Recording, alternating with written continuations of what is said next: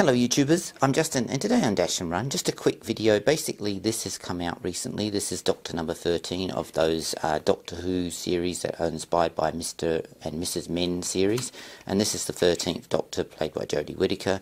Um, it's got the current companions in it and if you've been collecting this you'd probably want to get this to finish off the set. So basically it's just a heads up that this has come out. If you like the others you'll definitely like this. Anyway, I'm Justin, and as always, thanks for watching, and please subscribe to my channel.